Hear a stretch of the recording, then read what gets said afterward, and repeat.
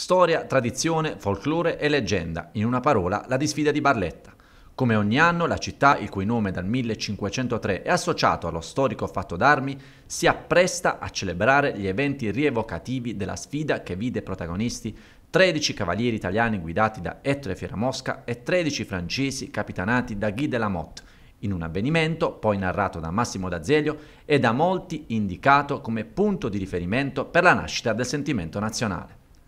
L'edizione 2018 della Disfida, che andrà in scena dal 7 al 9 settembre, è organizzata da amministrazione comunale in collaborazione con il Patto Territoriale Nord Barisio Fantino e Dida Art. Guarda al futuro con un rinnovamento vero e proprio. Quest'anno abbiamo cercato di eh, mantenere saldi gli elementi storici, l'integrazione ai gruppi barlettani quest'anno con dei gruppi che vengono eh, da altre città d'Italia, vengono da Napoli, vengono da Cava dei Tirreni.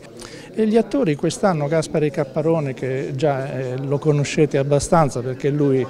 è stato uno dei più grandi eh, attori italiani, è tuttora uno dei più gettonati attori italiani,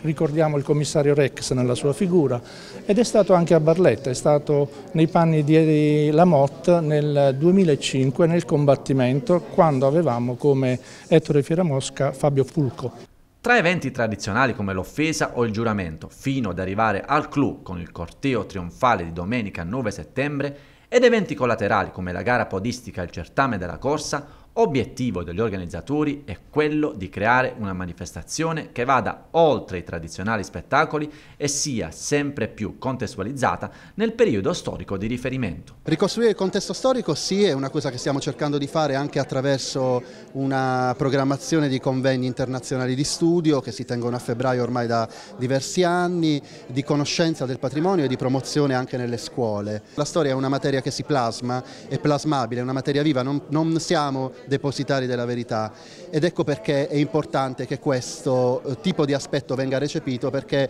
il patrimonio e la conoscenza storica si costruiscono insieme. L'edizione 2018, annuncia il sindaco di Barletta Cosimo Cannito, rappresenta un primo passo verso la realizzazione di una serie di eventi che avvicini sempre di più la disfida a manifestazioni celebri sul territorio nazionale, come ad esempio la festa dei Tre Ciri a Gubbio.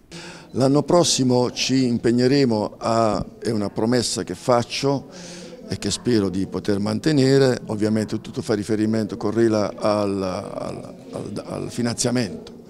Ecco perché si aprirà un dibattito politico sulla necessità di eh, costituire una fondazione, la disfida di Barletta, che poi abbracci tutti gli eventi culturali della nostra città e questo è un dibattito importante che porteremo in Consiglio Comunale.